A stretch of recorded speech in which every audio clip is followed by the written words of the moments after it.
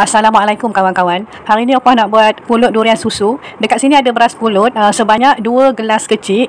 Uh, lepas ni apa nak basuh, lepas tu kita rendam selama 3 ke 4 jam. Sangaikan bijan sebanyak 2 sudu besar. Beras pulut tadi dah pun ditapis.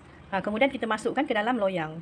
Gunakan sukatan yang sama ya. Air kita sediakan 2 gelas. Masukkan susu tepung sebanyak 5 sudu besar. Susu pekat manis lebih kurang 2 sudu besar.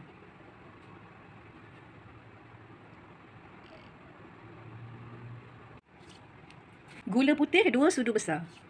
Sehelai daun pandan.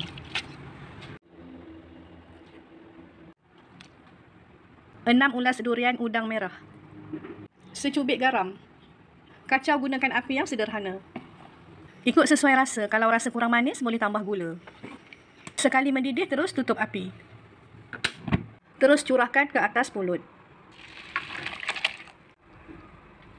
Kukus sehingga pulut masak. Gunakan api yang sederhana.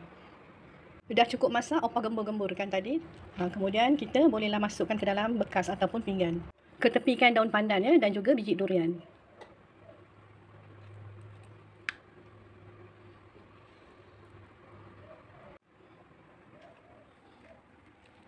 Gaul kelapa parut dengan sedikit garam, kukus bersama dengan daun pandan.